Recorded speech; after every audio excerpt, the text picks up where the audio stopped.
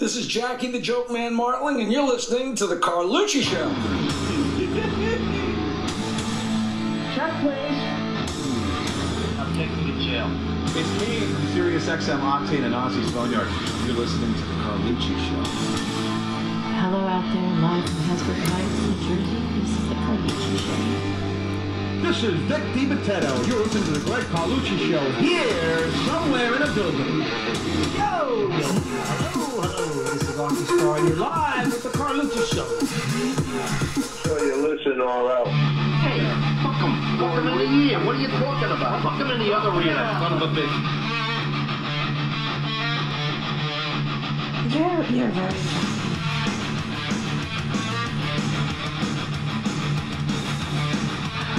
What a dork. Come on, fuckos, let's go for a ride.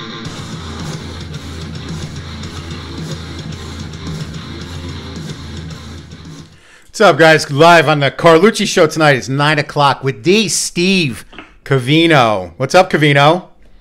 Hey, Carlucci. What's Usually, going on, usually man? How are I, good man. Usually I don't introduce people this quickly, but I wanted to ask you: Do you recognize somebody's voice on there in the very beginning?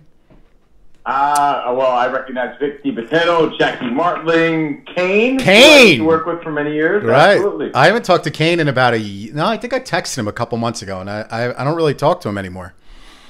You know, uh, all guys that have an influence in my life, believe it or not. In your I life. with Jackie the Joke Man early on in my career when I worked at K Rock. You know, uh, I would see him often, and we would tell jokes to each other. He was a nice guy. I love I was his a laugh. young kid. Yep. Um, DiBattista, my family loves that guy. Yep. He actually did a really, really heartfelt cameo to my dad, whose health was a little in question at one point. Really? And my family just, my family bonds over that guy. They love that guy, and he's really a sincere dude, and he's funny, man. I like that guy. Steve, I had him on. Go ahead. I'm sorry. I'm listening. And I was saying, Kane is just uh, one of the guys that I learned so much from along the way. You know, coming up in radio, and you know, we were co-workers, and again, he was the guy on top, and I learned so much from him, and we're just friends. And you know, his career is, is a great one and one to admire for sure. He's definitely he's on um he's on what 102.7 FM now. He went from 92.3 whatever that's called now to I think 102.7. Now he's doing it. Yeah, yeah, just one of the good guys, and his talent just you know keeps him going. No, he's, he's- just such a talented guy. He's amazing and he's very gonna have a humble. gig no matter what. Well, I'll get into all these things. I just want to start off. I want to thank all my sponsors.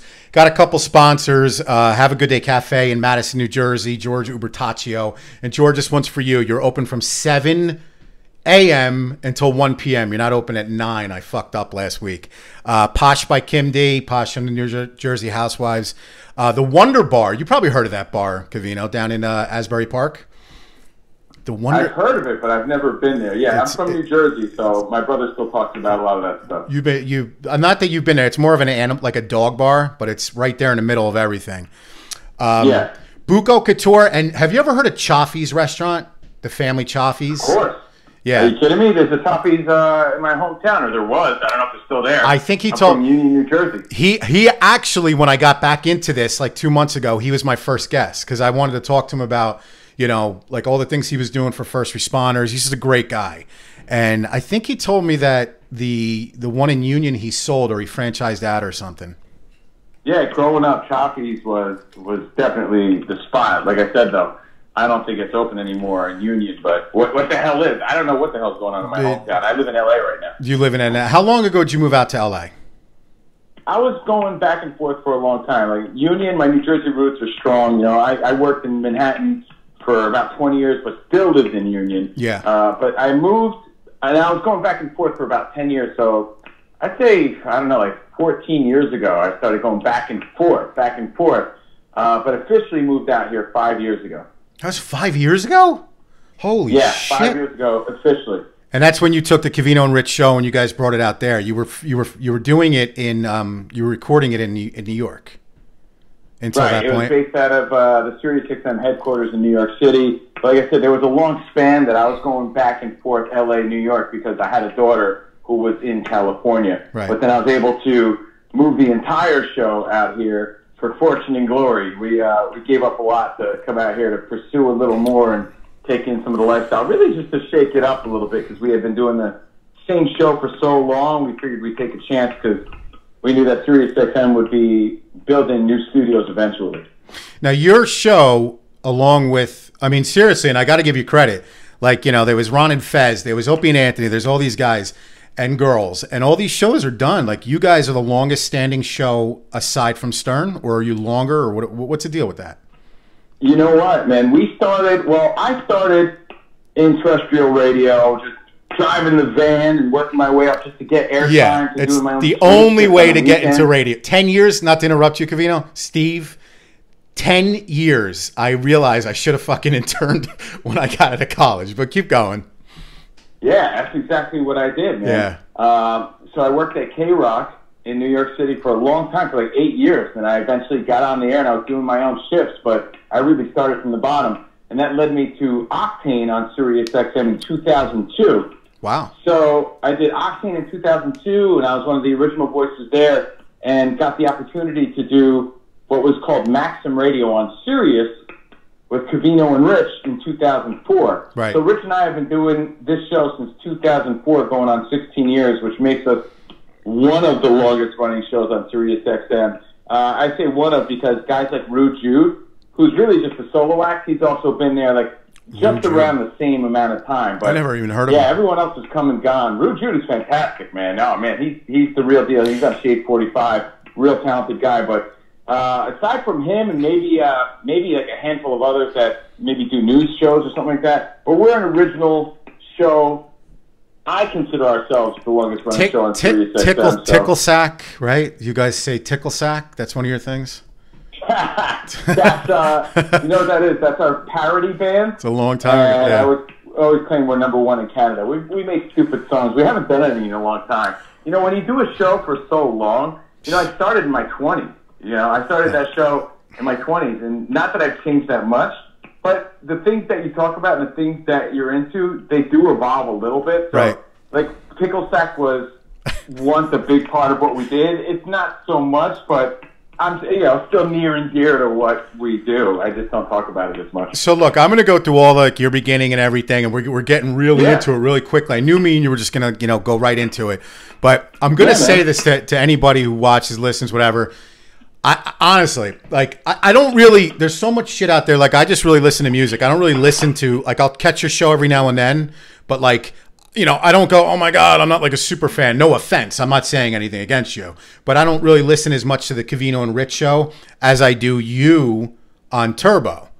And like I'll text you or I'll, well I'll write you on on Facebook and I'll just say something funny. Like, dude, you have to be one of the best. And I'm not kissing your ass here. You have to be one of the best. D- what are they called? DJs, right? Hosts, DJs, yeah, DJ I'll take hosts. You have to be one of the best I've ever heard, if not the best. Okay, there's Thank you, man. Howard Stern is the best interviewer in the world, like of any like TV show, anything. He's the best interviewer in the world. I really think you're the best DJ that like ever existed because you're fucking hilarious. Like you make me laugh in my car. Nobody else does that. Kane's got a great voice. Kane's awesome. Um, Booker's awesome. Uh, all those guys, you know. But like, I got to tell you, man, you got it. you got a knack for it. You're still doing it, right? Because I haven't listened to Sirius in a little while. You're still on Turbo. I do Turbo, which is hard rock of the '90s and the 2000s, Which is better and than I Octane. appreciate that very much, man. And I will say uh, this is long overdue, so thanks again for having me. But I have a lot of fun doing Turbo. Look, Covino and Rich is my bread and butter, right? Of course, of course. Or as I say, my tortilla con mantequilla. That's that's my shit. Right. That's what pays me. But part of my contract is what I originally got signed to do, which is the music stuff. The music Yeah. stuff is what brought me into radio in the first place. I'm a music guy first and foremost. Right. And that is the time for me to unleash, try out some new material, have fun, put my balls out, be an asshole, and you know mm-hmm. hope It's that funny, dude. people listening and know that the listening can take a joke and roll with it. And you know it's really personality driven. It's aggressive. It's aggressive music. It's like you feeling like your biggest badass. And I have a lot of fun doing that, man. And the music inspires me. And I can't take all the credit, dude. You named a lot of guys. I honestly learned from the best. You did. And I, I take it as that. I, I worked with Kane. I worked with Booker. And you know, I was just watching and observing and learning from these guys. They're a generation ahead of me. Right. Um, but I did work with them, and I shared a mic with them, and I picked up a lot from guys like them. And Liquid Todd, who was my mentor Right. from K Rock New York. But my difference is, like you said, those guys are very professional in their in their broadcasting. Uh, you know, Kane paid me the ultimate compliment. He goes, "You know, man, I'm really proud of you. You've taken your career to where it is, and you did it just by being yourself." Yeah. And that's the truth. I mean, Right. sometimes people wouldn't take me serious because I'm always a bit of a clown, and I'm always looking for that cheap laugh or that cheap punchline. But I stuck with it, man. And, and if it sucks, too bad. Whatever. Yeah, but you- We're you have- forward when, and we're doing our best. You know, do- I, I I don't have any fear as far as going for the cheap dick joke and having fun with it. No, you talk about everything like the shitting and the what you just ate and just your balls hurt. Like I literally laugh out loud in my car. And again, I don't want to sit here. I'm not trying to kiss your ass, but I'll I'll even write you and say, "Yo, I love that comment." Blah blah blah. Like it makes. I'm sure it sometimes it makes people people's day because you're having a fucked up day. Then all of a sudden you come on to talk about your last shit, and you're like, "All right, life isn't so bad today," because Covino's an asshole. I love it. about it. That's why we, you know, me and you do what we do. Right. Like I do it because I love music. That's the truth. But in reality, if you can make somebody laugh and entertain them and get the feedback, I'm a little bitch for the feedback. I love the feedback. I live for the feedback. Right. It's like uh, you know, if you're making some meatballs, bro. Right. Yeah. You, you want to see their face when they eat them. You want to see people's reaction. Right. If I make a stupid joke or have a stupid comment and I get some great feedback from that, it made my day. That's what I do it for. But are you in a, are you you have free reign? Are you on a delay or anything? Like you can say whatever you want. Do they just say go ahead? You can talk about anything. Period. Look, uh, it's completely uncensored, but we are living in a, a weird Uh, not right now forget today. You can't say sensitive. So anything. Yeah.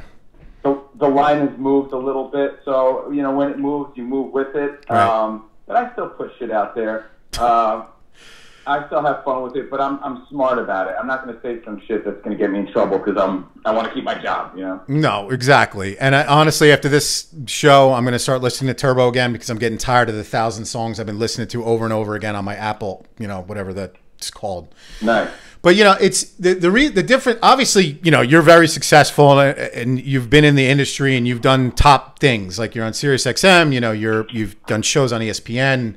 I'm sure you've done a ton of other stuff. Obviously, we were just talking. You're on Turbo. You're on Octane. These are all things. You know, me and you are similar in a lot of ways, but you know, you know, you're great at what you do. I'm not comparing myself to you, but the problem with that I've always felt is like I just never got the shot. You know what I mean? I never got the shot. I've always been doing a podcast, is what I'm saying. Everybody, Steve, they they accept it and they go, "Oh no, I just want to do my own show." Fuck that. I have been, well, at least from 2010 until 2015, I was trying to get to Sirius XM, and it's crazy because I've had the craziest, like the biggest guests, and I've had so many people from your industry, our industry, whatever, from Sirius, from the movies, from this, say, look, I'll hook you up. You're great. You're this, you're that. And then nothing ever happens. And I'm not mad. I don't expect them to do it. But like, it's a very fuck you, no, uh, you know, profession, first of all. But it's also an empty promise profession. So I realized I either should have interned right out of out of Connecticut School Broadcasting because that's in order to get into radio, that's what I had to do in 2010 or nine, whatever it was. But I should have interned. I should have been with you because we're the same age at Howard Stern or or at K Rock with Kane, and I think me and you would have you know had kind of similar careers. You would have been great doing all the things that you're doing, but like I wouldn't just be sitting here doing this fucking podcast. And I'm not like jealous of you. I'm proud of you. I think that's awesome, and I'm and I'm proud to say you know we're friends and all that stuff. But it, it's just like people say, "How come you can't get there? How come you can't?" Because I, I really because it's the toughest industry to break into. Am I wrong? you're making me think so many different things. All right, I'm going to quote the great Howard Stern, right? You know, I heard him say one time, he's the guy who sits on podcasts often, by the way. I know. Uh, but I think he's changing his tune because SiriusXM just purchased, you know, a big podcast company. Um, but he said there are more opportunities in Major League Sports, Major League Baseball, than there are in the radio industry. It's very tough, especially when things are automated and there's no room for that nighttime guy. There's no room for that guy to get his shot. Yeah. You know, there's less opportunity. You you have a better shot making it in the NBA. You know, at It is. point than making it in radio because it's very difficult. And and right now, if you're doing a talk show or you're trying to get an opportunity, they're looking for that celebrity guy. And I fell The name guy, exactly. the industry, you know, right at the right time where my radio skills got me to where You I did. am. I'm not a celebrity guy, but that's what they're looking for. So it's a matter of timing, bad timing. Right. But you know, I think that everyone's path is different too. So Oh, yeah. you're doing your podcast now, look, podcasts are where it's at, and you never know where that's going to take you. Let me tell you, uh, all the guys I worked with who were a, a bit ahead of me at the time, they would always tell me, Covino, you're never going to make it because you have to leave New York City and come back. You can't just all of a sudden playing the big leagues. You have to go to Poughkeepsie, That's work in Connecticut, all I ever hear. Jersey Shore, Yep. work in uh, Ohio, Ohio at 3 a.m.. Right. you know, because that's the path that they had and that's the way it was. But Yeah. guess what? I found an opportunity early on at Sirius XM in 2002 when nobody knew what that shit was. In fact, people would laugh at me. And you Like, jumped on it. work? Cyrus? What was that? Internet radio? What the hell is that? Yep. and I really got um, you know ahead of the game, and that was my path. I never really did have to leave New York until, of course, I moved to LA. But that show provided me an opportunity to broadcast in every state in the country and have fun with it. So my point is, you know, your time will come. I, I feel my success is again being myself and and. And I use the word success loosely, by the way. No, Uh, you're very, you're very. I like that. You, you, being myself, but but at the same time outlasting everybody else, dude.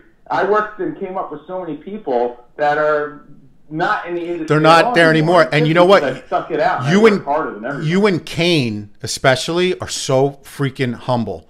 Like Kane would, would, would rather just drink with you at a bar. Like Kane doesn't. I used to say to him, like, dude, why don't you just whip out the fact that you were in this movie, this show, this that, or you're Kane, or you're this, and he would say, I don't care. I'm like, I never understood it. I'm like, why? But you know, I realize it's, that's not all life is about, and I get it.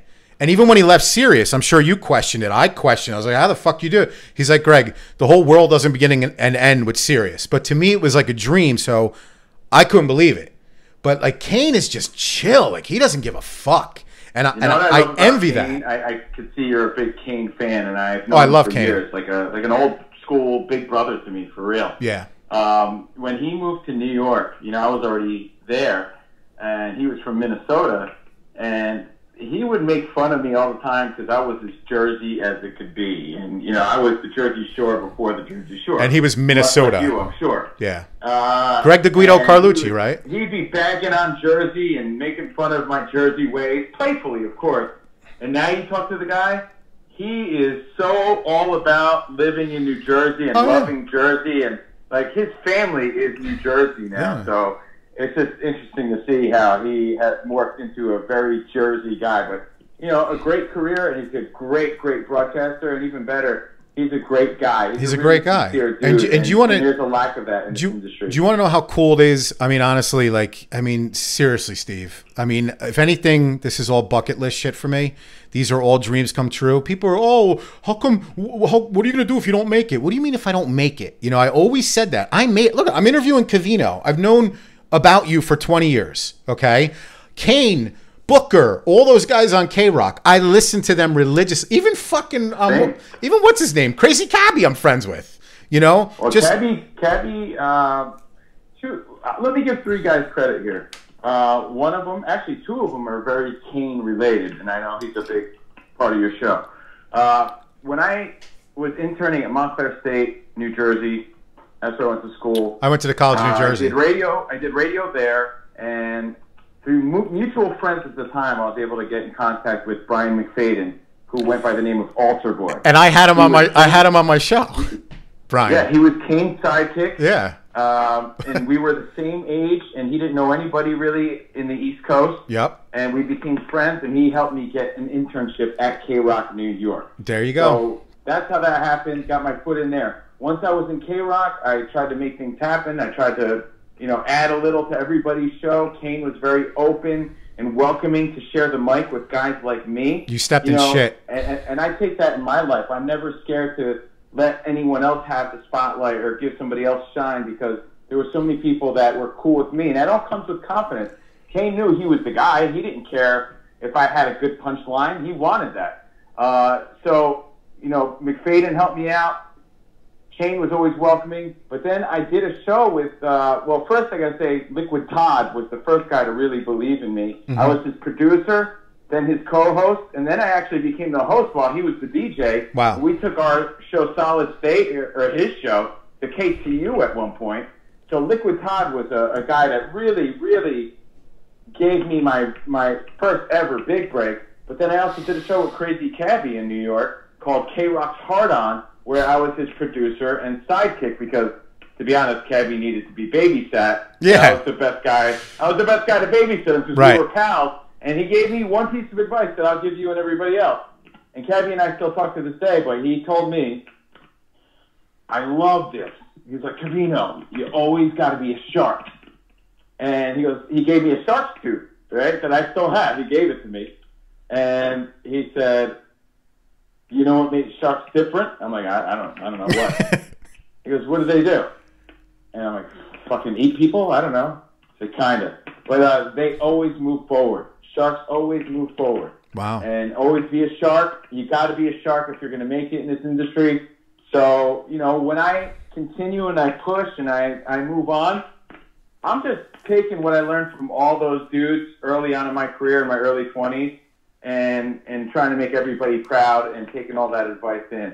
You know, so I learned a lot from all those dudes because I was a fan of those dudes the same way you were. Right. I just worked with them. Wait, exactly. When'd you when'd you graduate Union? Yeah. Ninety four or ninety five? Graduated Union High School, 1994. Played football, baseball, all that shit. So you're my- Um, you're exactly my age. I went to school to play baseball, but again, when I found out there was a radio station there, I was more of a music guy anyway. I just dove right into that shit and, and never looked Mm-hmm. See, back. the difference- So I got involved. I got involved in the late 90s in, in actual terrestrial radio. See, the difference, Steve, is when you went into college, like I went to the college in New Jersey, so Trenton State, whatever. We played Montclair all the time. When I went, you probably had in your mind, I'm going to be in radio. When I went to college, Yeah. I didn't even think it wasn't even it, it wasn't even a thought in the universe for me. All I ever thought was I was going to the NFL. Like that was it. And then after college, I was trying to get into arena, and there was I was in Street and Smith. That they said the Jets should draft me as a free agent and all that shit. So I was good enough to go to the pros. I didn't, you know, but that's cool. I was actually talking to uh, Goomba Johnny today on the phone. He actually went pro. I don't know if you know that. Um, do you know Johnny Saliano, whatever his name is? CL. Of course, I've, I've had Yeah. many a meetings. He's with my boy. Johnny. It's a small world. I don't know him him. that well, so I didn't know he was. Uh, He went to the he Jets. He went to the Jets for a year, and he went to the Giants. And I think he said he was just in the exhibition games. I don't think he made the team, but he was still he made it to the pros. But that's that's another thing. But what happened for me was, you know, all of a sudden time just passes you by. I'm 23. I graduate.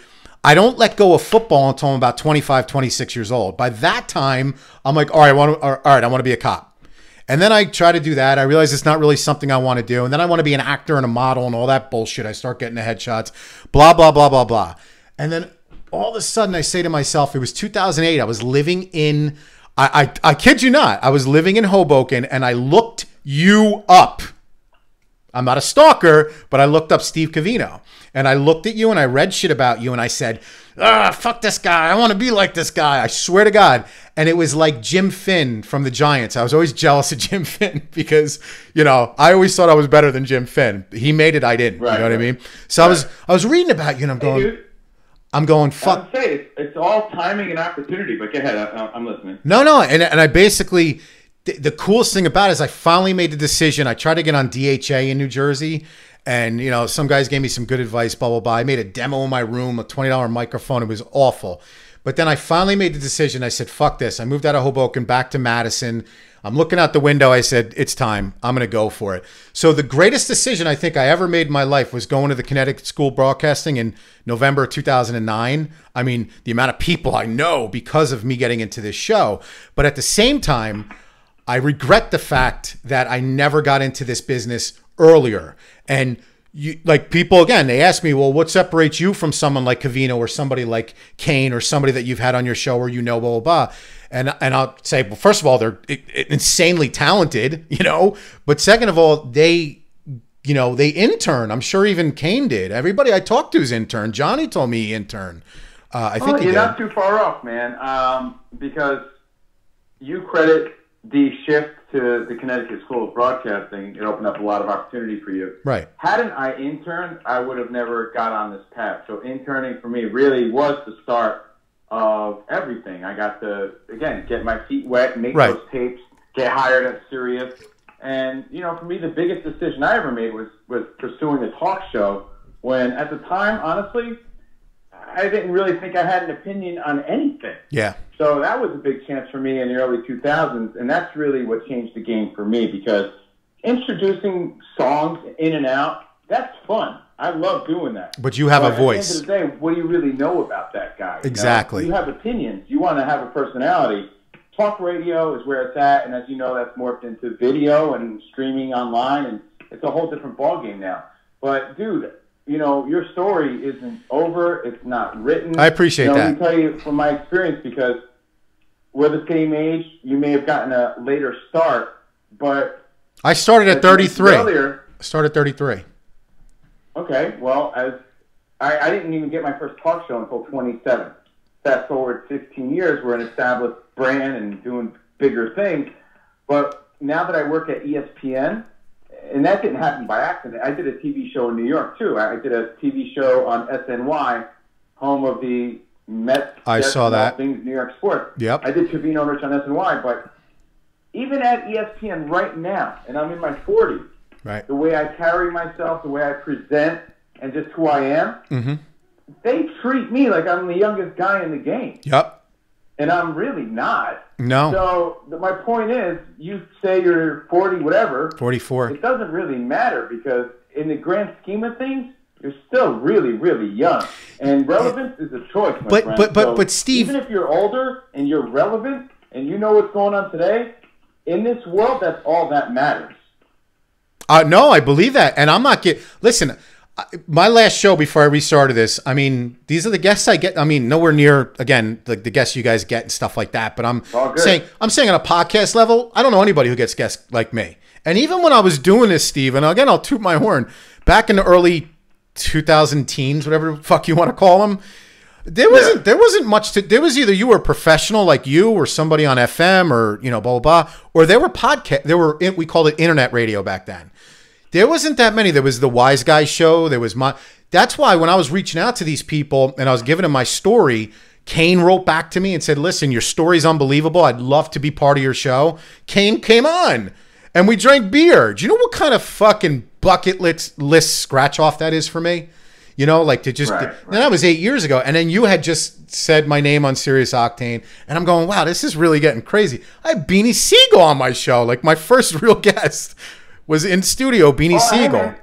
People more, you know, think about how life has changed since then too. People Right. are more accessible now, more than ever before. But now you have a know, I was, 15-year-old. uh, I was uh, dropping a deuce the other day, and uh, There I you go. randomly commented on a John Travolta post. This is before his his wife Oh, passed away. so beautiful. Recently, I was sad to hear that. Yeah. But um, dude, I wasn't even thinking. He just posted something. I wasn't even thinking. I just happened to reply to it because I had like a dumb punchline or something. Right. You know, John Travolta's responding back. Like, That's- it's a different, it's, a amazing. different world. We have It is. access. So, and don't sell yourself short. You're a talented guy. I'm not. I'm Uh, just- as a guy who's who's known you. You know, I, we've only met like once, but I, I know of you and I know your personality. And I, what I know most is your hustle. You're a very aggressive guy, and Yeah. you need that in this world, especially in this industry as we established, where there's such little opportunity. You know. But that's the thing. Nobody looks uh, like if I want to be an actor tomorrow with no talent, with no nothing, I might go on an audition and go, "Whoa, he's perfect. He's got the look. He's got the arms. He's got the hair, or whatever it be." Next, thing you know, I'm in a movie with you know Sylvester Stallone.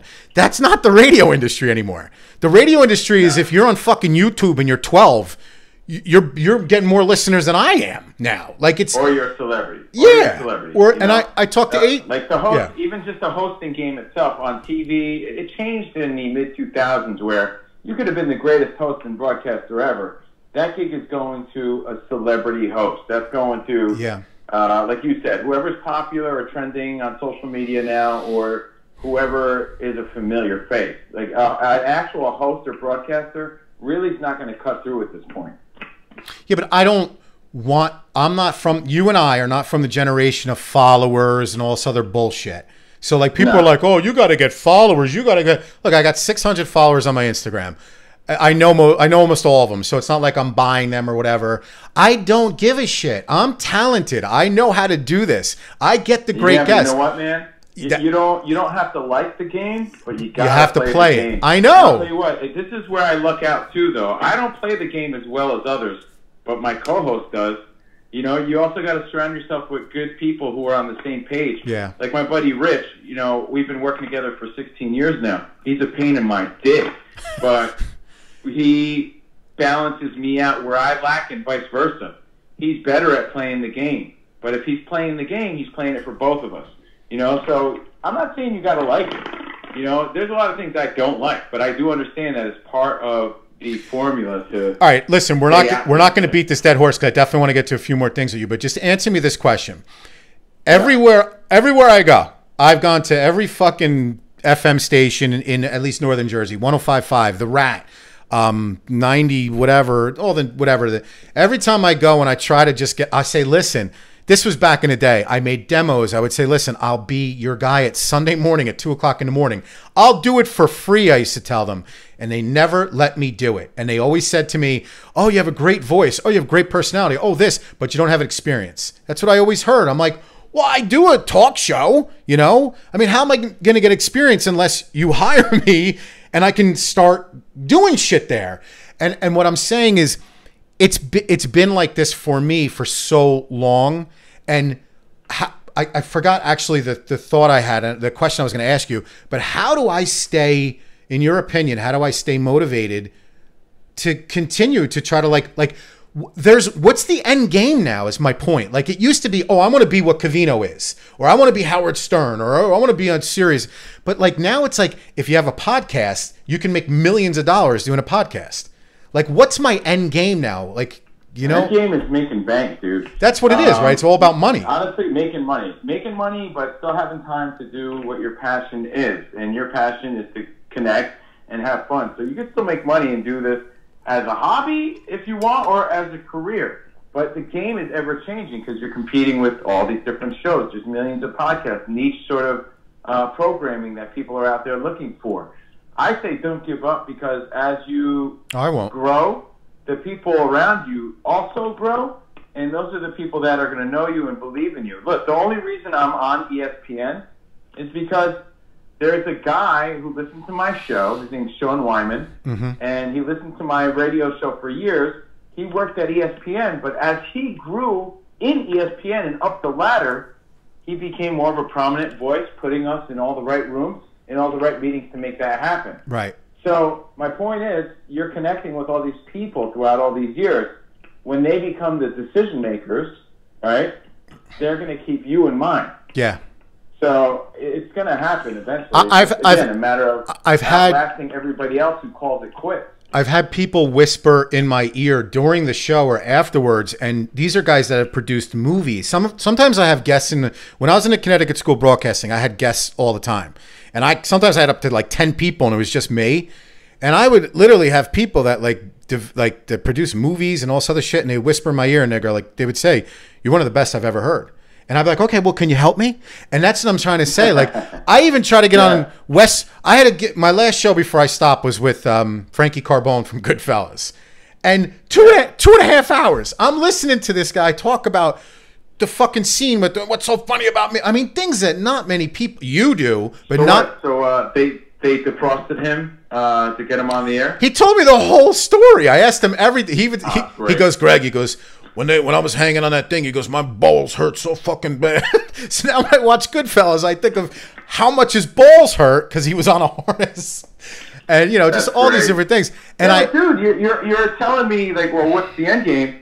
You know, I forget who told me this. You know, I think it was Jim Breuer, dude. Not the name drop, but it's a random one. nah, he's Like, awesome. a lot of times you don't realize you're in it when you're in it. You know, it was Jim Breuer because he told me he goes, "Man, I've lived a life of Forrest Gump."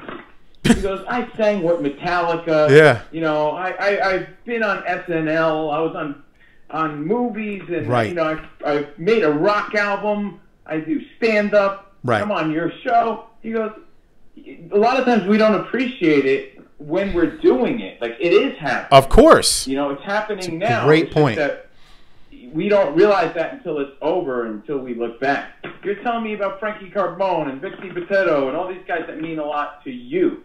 You know, didn't you have Vincent D'Onofrio on recently or something like that? I have him on You know? Tuesday. I just was on the phone with him the other day. He he wants to Hey, do my hey, show. Hey, hey, how you doing, Hendry? He answers You the phone. All these guys that mean something. How you you doing, Hendry? Show, you know, I had Rich I had Richie April on. And you're doing it, then there should be no complaints. Steve, I hung out- The money will come. I hung out with David Proval in his hotel room, and I, on the bed with him. I was just like, "Hey, he did my show. You remember Richie April from The Sopranos? Yeah. I mean, uh, him. I mean, I talked to him. I mean, Robert Davi. I mean, uh, Vinny Vella, God rest his soul. I mean, I can't even. Beanie Sigel, um, AJ Benza. I, I just keep Vic DiBitetto, Mike Marino. He's a great comedian out of uh, Scotch Plains, New Jersey. But just even you know, Kane, you. Goomba Johnny, then all the reality show people and everything. And I'm going to myself, look, it's great. I've accomplished so much, but what when am I going to get My something advice, out my of this? My advice is, is advice that I also need to follow because I'm a very reluctant, stubborn guy myself. Because we're from Uh, Berkeley Heights in you and I Union, New Jersey. That way, uh, but again, it's playing the game and being willing to evolve. You Right. know, like like use Howard Stern for example. A lot of people say, "Oh, he's so bad. He used to be better years ago." Really? He's interviewing A-listers now. You know why? Because he changed his game and he evolved to today's standard. Right. If you don't evolve, you become a dinosaur. Yep. So, you know, you got to switch it up. Oh, you may feel a little lame about it, but that's the game you got to play today.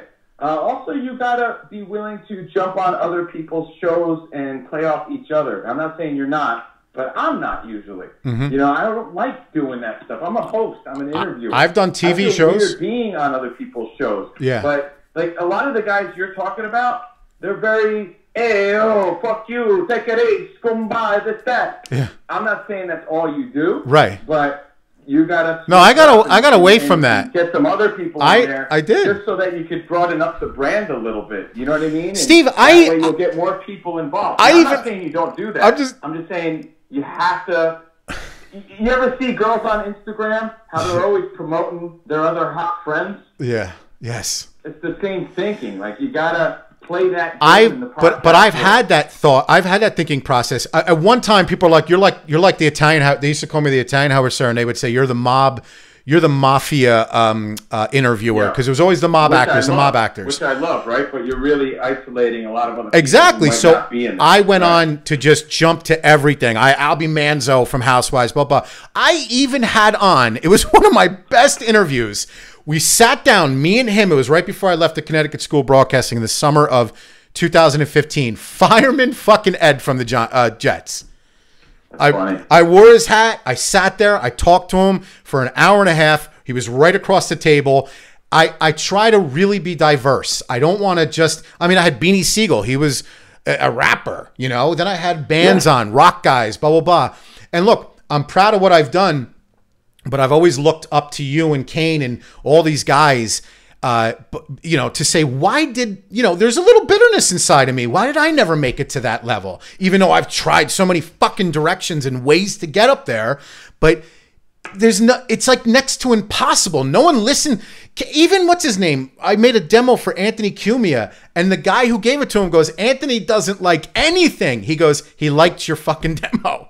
And I go, well, Well, can he do anything? And he never. Industry. Don't don't beat yourself up on it. It's If driving it'll come. Obviously, I think it's already here because you're in the podcast world, and that's what's hot right now. It's a great point. But think about it, man. I got an opportunity to crack the mic when late at fucking night. I was on every like weekend, late at night for years, or every holiday, or if Kane fucking was hungover, you know, I got that opportunity. You Yeah. know, I was able to do that Right. because the time was there. Right. Now with technology, that time slot doesn't even exist. Yeah, no. So you have to create your own, and that's exactly what you're doing, creating your own opportunity. So you know, just keep keep on doing it. I already think you're doing it, uh, so I feel weird giving you advice because we're all trying to figure this shit out as it ever changes. But I would say my best advice is don't give up and, and keep it diverse, and, and and always try to win over a new audience. You know, like people that you might think have nothing to offer to you, they actually might, and they might have an audience that you've now introduced yourself to. You know, so it, it's it's a pain in the dick, dude. I hate social media. I hate all that. I stuff. can't stand it. But at the same time, I see the benefits, and, and you, you just got to roll with it. I man. tried to get on You know, Westwood at the One. same time, I love it because broadcasting's fun. I tried to get on Westwood One at that same time. That's where I was getting to with the with Frankie Carbone, and they listened. They saw. They said, "Listen, we'd love to have you." I says, "That was this is maybe my door opening opportunity." They literally told me, "We can't take you because you don't have more than ten thousand followers on Instagram." I said, "Boom, there you go." It doesn't matter how great you are. Like like I could be the best player the New York Giants ever had, but they won't Wow. start. They they won't start me bro. because I I don't um take I don't sign autographs or something. You know what I mean? Wow. It's You crazy. need to accept that as of, I don't know, a few years ago, awful became the new awesome. So, you know, you could light your farts on fire and have 20 million followers. That I know. doesn't mean you could do a good radio show. Exactly. That's the guy that's going to get the opportunity. Exactly. Unfortunately. So you just have to, you just have to let these people fizzle. You know, as Macho Man Randy Savage always said, I hate to sound cliche, but the cream always rises to the top. You know, and that's what's going to happen I appreciate that. when all said and done. Yeah. no doubt. There's no doubt because you know just because someone has all these followers, it doesn't really hold a lot of clout. It just doesn't. A lot of it's fake bullshit, and they don't have people that are gonna. bullshit. They don't have the real engagement that you have. You may have less followers, but you have loyal followers, right? And that's all that counts. yeah. And, and listen, I I mean, I'm gonna I'll you know wind it down with this. Um, we you know because I told you I give you I think we're around 35 40 minutes. So let me know how much longer you want to go, or if you're ready to. Sure. Um, but I will I will say too, like you know, again with you, try not to kiss your ass here. Like when when Kane came to my studio, of course, just like I always am, I was late. Kane was waiting for me, and uh, we were drinking together, and I was like, remember, just I was just like, holy shit, this is him, because I listen. Even Will Pendarvis, I was a huge fan of. I still work with Will. Will's a great guy. Tell him- I just- I- you know, it's cool. I just wrote him. known me since I was basically a uh, late teen, early twenties. Right. and uh, I still get to see them all the time, and, and it's been a, a, a, a quite the journey. So all the guys, basically, what I'm trying to say to you is the guys that you look up to are all great dudes. You you've chosen wisely because these are the guys that have done it. So I even I ended up talking to Booker on the phone. He was going to do my show, but it just never happened. And then I, I, you know, I should ask him again. But he answered the phone. He goes, "Holla!" And it was I was like, "Holy shit!" I'm like, "This is Booker," because I listened to Julie Slater, Booker, Kane, you know, all those guys and uh, and girls, and you know, it was a dream come true actually. So the funniest thing is, and I always say this. When I met you, and you're just a fucker from Union who knows Paul Urusi, my stepbrother, okay? And that's I played football with your stepbrother I'll- growing up. Yeah. I'll never forget. I had no idea, and I was sitting. Me and Paul. This is when Paul was cool. He's a he's a hand job now, but Paul used to come out after work. We'd go into Morristown. We'd drink and stuff like that. And we're sitting there. We're drinking at the uh, I forgot the name, the Frog or something. I don't know whatever the fuck the place is called.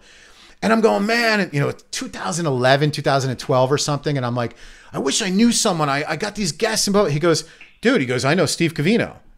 And I'm like, what? And you, I remember I told you I looked you up. I go, how Yeah. the fuck do you know Steve Covino? He goes, dude, he was like my best friend in high school. I'm like, oh my God, like this is something right here.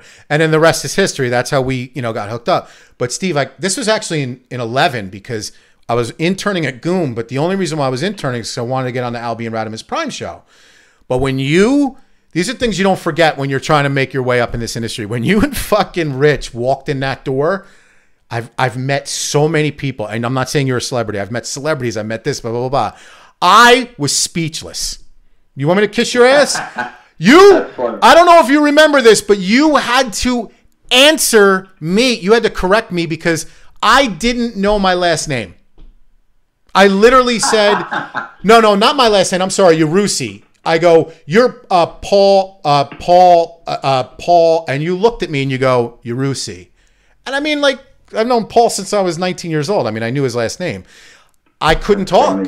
So, you know, that's the, the thing. And, and meeting all you guys and knowing all you guys. And listen, I'm way beyond that shit, like where I would write you and be like, holy shit, this is Covino. Like, you know, I, I'm, I was way beyond that with anybody years ago. But I just want Hey, to. but you know what, dude? I still get major anxiety interviewing and talking Of to course. anybody. You know, and I've talked to all of them. But I feel like if you don't feel amped up that way, then why are you doing it? You know, like you got to feel amped up when you're meeting people. But that's when I realized I was meant know, to be in radio. You admire or you're interested in, or when you're doing your job. I, you know, sometimes I don't even give a fuck about the people I'm interviewing in, but I, No. but I still want it to be good, so I put that pressure on myself, and you know, it, it does weigh on you. But hold on, real quick. Speaking of your your stepbrother Paul, that I just random coincidentally went to high school with. Uh, funny story. When we were kids, you know, we would play tackle football at the, at the golf course every once in a while. You know, a few times he'd invite me over to his house, but I was more the kid like, nah, I want you to come over to my house. I was more comfortable at my house. Right. However, one time I went to his house and he was like, "Yo, man, uh, come over. We're gonna play I don't know video games." Next thing I know, we're outside in the freezing cold, shoveling his driveway, and I'm like, "What the fuck is going on?" He's like, "Yeah, yeah, my mom said we got to shovel the driveway." Oh God. I'm like, "Wait a second. So I came over my fucking, I came over your house, left my warm ass house where I don't Right. have to do anything, Yep. to come and shovel, help you shovel your driveway." Yep. Fuck that. So Yep. I'll tell you what, that was the last time I went over to Paul Yaruski's house. Yarusi. I- we were still we were still friends. Yeah. But I never went over his house because he tried to fucking get me to do his dirty work. He's a jerk. He's a jerk. He's selfish. He's a jerk off. He's. I love him. I haven't talked to him in a while, Yeah. but you know he's good. You know who I actually ran into at Target in March when this shit started happening? I just bumped into him. I couldn't believe it. Was his brother? Um, Jesus, now I forgot his name. Nick. Remember Nick?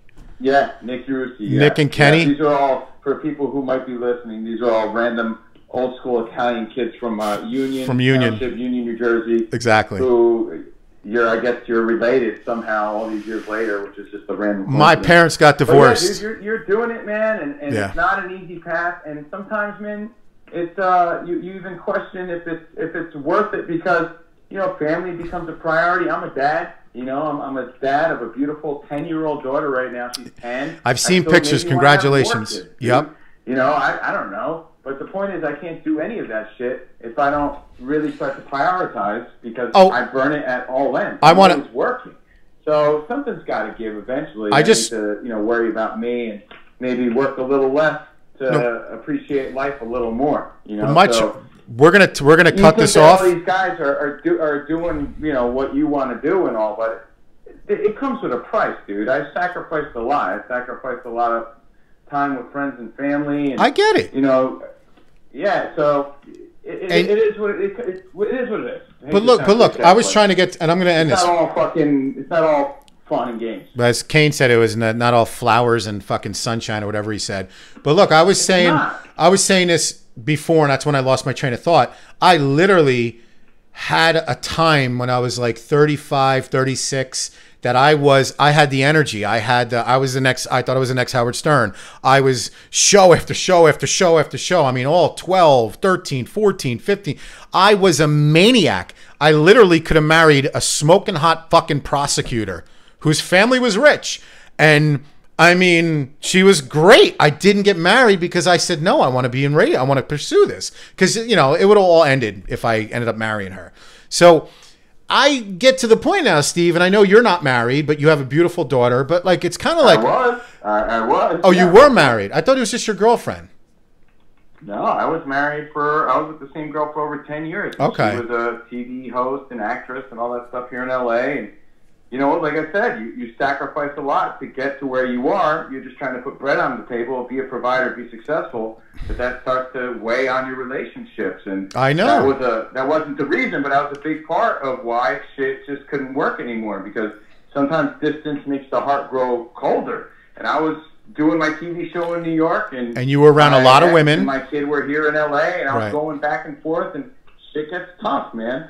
So yeah, I, I was married. Now I have a girlfriend. I, I've had a girlfriend now for three years, but There you go. look, you know, there's always a price. It's never easy. You just gotta, just gotta keep the fire going. But I wanna end it with this. You said- positive, you man. said- gotta and I- positive because things, like you said, you you you feel like you sound a little bitter. I don't think you do, but it could make you bitter. But you know, instead you gotta it makes let it make you better, not bitter. That's know? a great point. And I'm going to end it with this. Like, that's What I'm saying is that now I'm 44 years old. Now I'm starting to think, okay, well, maybe it's time to settle down. Maybe it's time to finally get married, have kids, all that kind of stuff, because I still do. So the only reason why the term bitter even comes into my mind, the bitter is not like jealous of anybody or how come everybody's their own person. I don't want to be you. You don't want to be me. I don't want to be Kane. Right. Everybody's their own person. We all had our own path. The path I went on was the path I was supposed to go on. I was supposed to try to do something football wise. I'm not saying NFL, but something. Radio was not it at that time. But What I'm saying is now I'm 44 and I'm getting a little bitter because I did take a year and a half off because I needed to. Literally, I needed to. People are like, why aren't you doing it anymore? I was like, because I don't love it. I just don't love it anymore. And then all of a sudden I said, the quarantine came. People like, oh, do it now. I didn't do it. Finally, I said, you know what? All these years of sacrifice, all these these years of doing this shit, I got to start this thing up again. I gotta I gotta make something of this, and I won't stop now forever. I will never stop until at least I get somewhere. So you've given me a lot of good points, and I appreciate that. And I don't want to be bitter anymore. I'm- Age doesn't mean shit. Yeah, hey, yeah, don't be bitter, be better. And and let me tell you, man, and I'm not here to be fucking Tony Robbins, uh, you know, but I I'll tell that. you what Yeah. they're gonna ask you when you're in the room where it happens, Hamilton style. When you're in that room, everybody wants to know what is your carpool karaoke. What's your elevator pitch? What is it about you? What is it about Carlucci that makes you different? Yeah, believe me, I'm trying to figure that out myself. I've always just rolled with it and, and I do what I do. And I've been fortunate. Uh, but everybody wants to know what that next thing is. Like, do you know who Sean Evans is? Sean Evans is an author from Complex Magazine, and he decided to do an interview show where they eat hot wings. He's the host of Hot Ones, Yeah. right? The guy has millions of I followers. know. I just interviewed him, and I didn't know shit about him, but now I totally admire him because he found his niche. Yep. It's about finding your niche and staying in your lane. And when I say stay in your lane, I don't mean just talk to Italian uh, mob guys like you do. No, I had But McFadden staying- too. I had I had like a hundred people. Staying, staying true to like what it is that you do, Right. and making it your own. You know, like this guy interviews Timberlake, Shaquille O'Neal. I mean, you name this celebrity, he's had them, and they eat hot wings together. And after every question, it gets hotter and hotter. Like that's his shtick. Great Like, point. to- And I'm gonna- as it may sound, I'm- you got to find a shtick I got it for you. That's really it. Steven, I got to I got to stop you for one second. If I had a dime for every time, and it's great advice. Every time I heard that, oh, try to do this or do this or walk down the street. I try to make some videos and I fuck around stuff like that, but I'd always say it, and it's just like when I was an athlete. You're always told, oh, try this way, try. It's like Rocky. No, I'm not going. I'm a southpaw. I'm not going to punch it my right. You can never deviate, really, and you know this probably way more than I do, being in this industry. who you are. You can't deviate from who you are. I'm none of these. I've heard the wings. I've heard the, you know, do this show in your fucking pajamas and be funny. I am a radio host who loves to interview people like you, to interview actors, famous people, whatever it be. But I also love to do a show by myself or with people, friends, panel, whatever. That's what I do. I don't do shticks, and I never will. I, hey, I, I didn't say I'm not a sticky, gimmicky kind of guy. But you're not that- either. That feels forced makes my asshole itch. I don't like that either. But I'm saying, find what it is then about you, and just fucking narrow down the focus.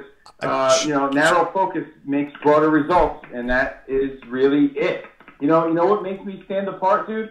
I'm a guy who's right down the middle, man. I'm half Italian, but I'm half Mexican, right? Mm-hmm. So I got a, a, a wide array of people I can make fun of and talk to, and I'm not one side or the other, you know. And I think that relates to a lot of people. Well, I'm a you- regular guy, Steve. who, who works real hard, who's got a divorce, who's been through some shit. Steve, can you know hear what that? talked about today on my radio show? I had a panic attack over the weekend. All right, I- I just- I just put on You Ricky know, Martin. Never hold back. You, you got to be authentic. I've So had I'm 'em. saying put Yeah. a clown nose on and be someone you're not. Exactly. I'm saying take that someone you are and really fucking figure out a way to craft it to make it next level where people notice it because you are good at what you do. But I'm not- be but- noticed, but that's man. a great- I'm- you're- I'm just trying to tell you how. No, I and I agree with you, but I, that's the problem with me. I'm not the social media guy that's trying to get myself out there. I'm the guy who wants, like, I just want to, like,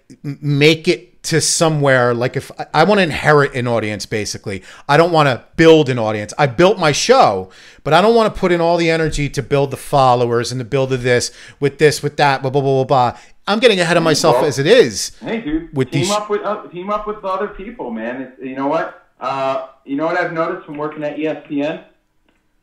what's I've up noticed that working at ESPN that when you are surrounded by a great team of people, you get a lot more shit done because they're working for the same goal. well you're You you, got Team that privilege Don't i don't scared to team up with people, man. You don't think I had to put my ego aside to work with Rich Davis and share the mic?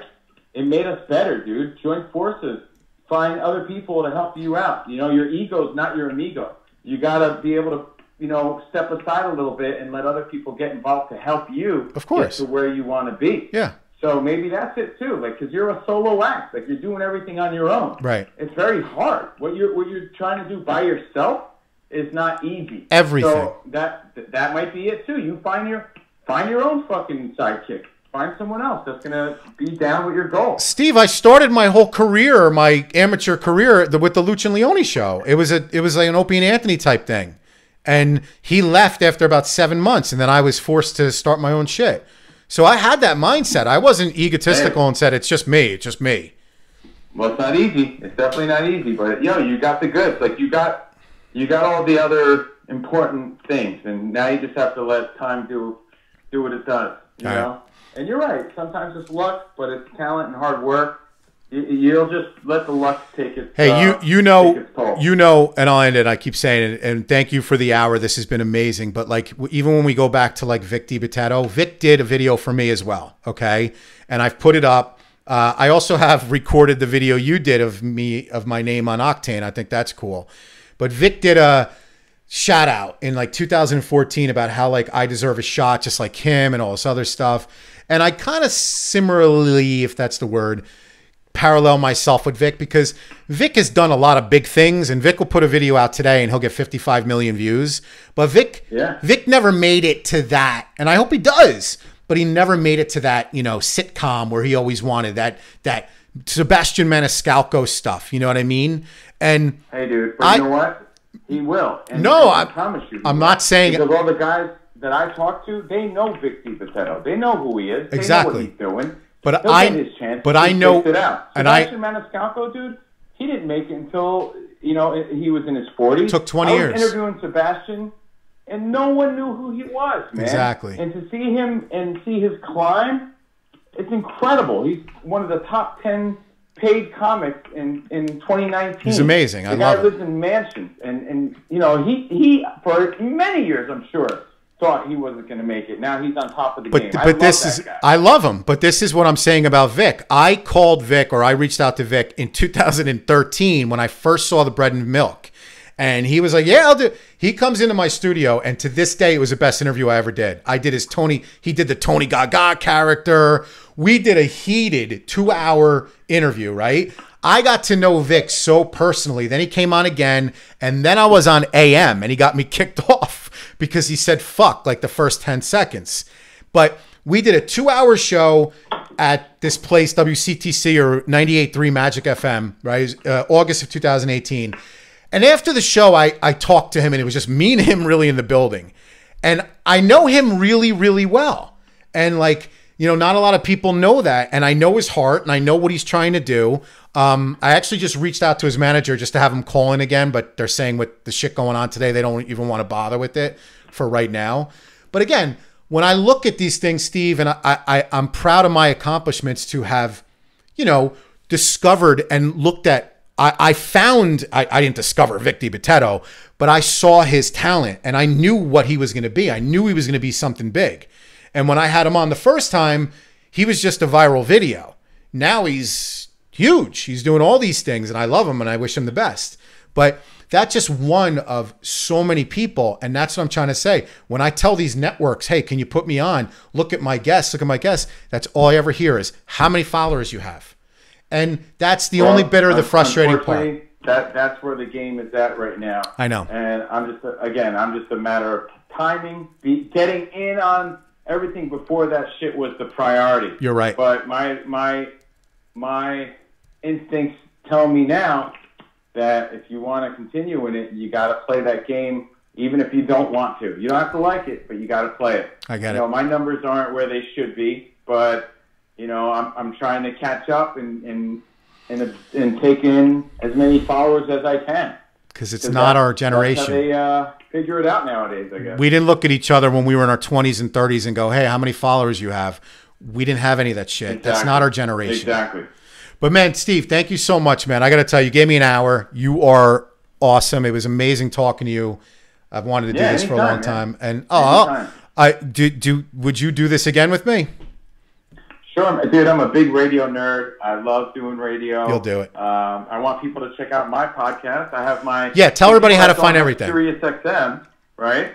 Uh, we have our best of the week on iTunes and Google Play, so you can get Covino and Rich, one of the longest running shows on Sirius XM. There we you have go. special guests all the time. We have major, major celebrities stop by. Yep. But it's all about life and, and comedy and entertainment anyway, pop culture. So Covino and Rich on Faction Talk 103 Monday Okay. through Friday on Sirius XM. But again, our best of the week is available for free on iTunes and Google Play, and of course weeknights on E ESPN2 Now or Never at Now or Never ESPN. So follow us at Covino and Rich and at Steve Covino. Man, I'd love to say hello to your friends and your listeners, and absolutely would come back anytime to talk about whatever the hell I would love talk to. About. We we. We're, aren't we both music guys and sports guys? We didn't even talk music or sports. Dude, I, I had like eight things I wanted to talk to you about, but it's been, it's an hour. It's enough. We got to we'll do this again. I would love to like redo something with you and talk more about other things that I wanted to get into, but I knew it was going to go in this direction. I mean, we just fired away right into your career and where I'm at and stuff. I think I think it was kind of it was meant to happen after all these years of us kind of going back and Oh. forth and my Let let my my 3 a.m. drunk thing. IMs. Because career is important and it keeps me motivated, dude. Right. And I'm going to state the obvious, but I have to anyway, because even when you get to, like Jim Carrey has seen the top of the mountain and realized it wasn't all he thought it would be. Yes. You know, I've done a few things that were on my bucket list of shit I wanted to do, but at the end of the day, you know what I want to do the most? Go home and chill with my family. Be with your You daughter, know, I was going to say. Really, Yep. That's really what it's all about, dude. Now, again, I know you know that, and I know Mm-hmm. I'm stating the obvious, but you, sometimes you get there and you do that, and and you realize, oh, I did it. Family and your friends is really all that's going to make you happy. And you know that So if Johnny- you're able to do your podcast and have Yeah. fun with it, and still have time with your friends and family, dude, you're winning. That's it. I appreciate that. You know, Johnny and and um, Kane always kind of told me that too. And I'll tell you, I'll leave you with this. Kane said to me, and I, I was a tearjerker, but Kane was hammered. Uh, he did say, Uh, let me guess on Jägermeister. yeah, and he te- and he doesn't like when I say this, but he texted me at like 2.30, 3 o'clock in the morning, and he goes, "This is after our show," and he just said, "I want to let you know you're you're you're really great at what you do." That's what he said. And you know what that was like? I mean, I was in fucking tears. And he said, "I'd love to start a show with you." And I was like, "Wow, this is like my idol. My like Kane was my everything." Him and really like Goomba Johnny, I used to listen to all the time.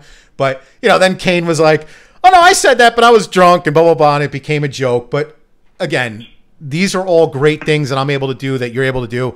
I just, I used to have a stage back in the day, and you know, I want I want some sort of stage again, not just a podcast, you know. But I guess it's it's who knows. We'll see what happens. Well, uh, guess what? Joe Rogan's podcast is doing pretty well for him. It's a different world, man. But he had a- And, he had a you know, name. Keep, doing what you're doing, and uh, good things will happen. And I'll stop by anytime. In the meantime, hit me up at Steve Covino and, and catch me on ESPN, bro. And thank you for making time for me. I appreciate being on your show. Awesome, bro. All right, man. I'll talk to you soon. Anytime, buddy. Thanks, Steve. I appreciate it. No, anytime. Of course, I'm going to ask you again. Trust no, me. Yeah, you gotta, you know, be persistent. Sometimes I might not get to you right away, so never worry about it. No more, you know, a couple times like Kane used to do to me, the three o'clock in the morning drunk IMs, like, hey, what's up? Like, you want to do? I don't. That was back in that was years ago. But um, I'll hit you up. You know, I'm not going to bother you, but I definitely appreciate it. You're very humble, and honestly, I'll pick up on your show now more because I'm going to start listening to Sirius and I'm going to listen to Turbo, and you're going to make me laugh again. Oh, thank you, man. I appreciate it. Anytime. All right, my brother. Have a great night. Yeah, you too, man. Later, buddy. All right, talk soon. A lot, a lot of fun. I appreciate it. It was awesome. Thanks, man. Bye. Later, bro. Wow. there you have it, folks. And I just uh, scratch that one off the bucket list. Boom. Steve Covino. I did an intro about him. Uh, he didn't pick up on the fact that I was playing Ricky Martin. That's what pissed me off. But uh, my little preface to the whole conversation before he called in was, you know, uh, I used to, you know, him, Kane, Booker, all those guys from K Rock and uh, Goomba Johnny. I became friends with all of them. Not Booker. I've talked to him once or twi- uh, once on the phone, but um, yeah, I became friends with Kane and became friends with Covino and Goomba Johnny. And it's not like uh, I'm all crazy about it, but it, if if you if you guys experience this in any industry that you're in, it, it's a really cool thing. It's it's like when you go into the NFL and you play with someone that you had posters up on your wall. It's just cool shit. So they're very humble guys. Covino's a very humble guy. It was a great conversation. Um, I got some awesome shows coming up. Um, I'm going to start doing more solo shit and not just uh, having call-ins, even though call-ins are great. But um, Joe Donafrio or Janafrio, how you doing, Hendry? From Goodfellas, most notoriously, and from uh, A Bronx Tale, is going to be on the Carlucci Show on Tuesday, 721. So that's in a couple days. And then uh, Goomba Johnny on Thursday. And then uh, Lindsay Klein the week after that. Um, just so many more guests after that. So, guys, thanks for listening to the show. Covino, you're fucking awesome. And um, I learned a lot, tell you the truth. So, uh, that's it. I got nothing else to say. And just like I always say, and that's all I have to say about that. Carlucci Show. See you next week.